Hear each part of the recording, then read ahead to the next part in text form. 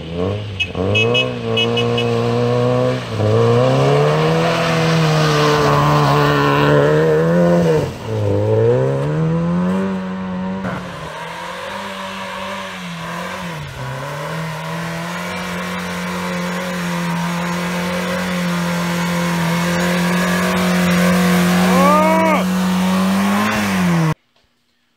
after the last video you saw that we were kind of stuck what you didn't see is pulling out.